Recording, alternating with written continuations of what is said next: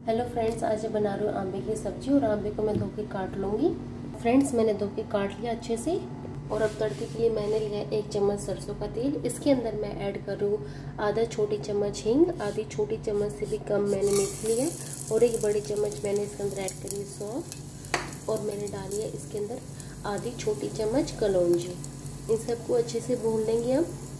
और फ्रेंड्स मेरी अच्छे से मेथी भून गई अब मैं इसमें ऐड कर लेती हूँ अपनी किलो आलू तो फ्रेंड्स, अच्छे से मिक्स कर लेंगे। अब इसको मैं ऐड करेंगे हल्दी पाउडर, धनिया पाउडर।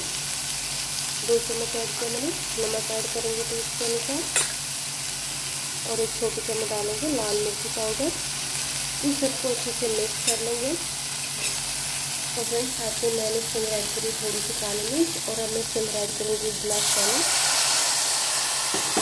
से मिक्स करेंगे और फ्रेंड्स अच्छे से मिक्स करने के बाद इसमें मैंने थोड़ा सा पानी और ऐड किया। और अब मैं इसमें ऐड करूँ आधा कटोरी शक्कर। आप चीनी, बोरा कुछ भी यूज़ कर सकते हैं, गुड़ भी ऐड कर सकते हैं। इसको अच्छे से मिक्स करेंगे। और मैं इसके अंदर लगवाऊँगी एक विसिल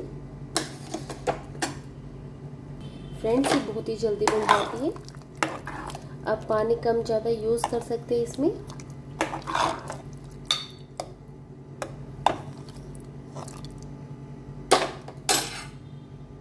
और ये फ्रेंड्स मेरी बन के बिल्कुल रेडी हो गई है। मैंने इसकी गैस निकाल ली थी, सिर्फ़ एक ही से लगवाई थी इसमें।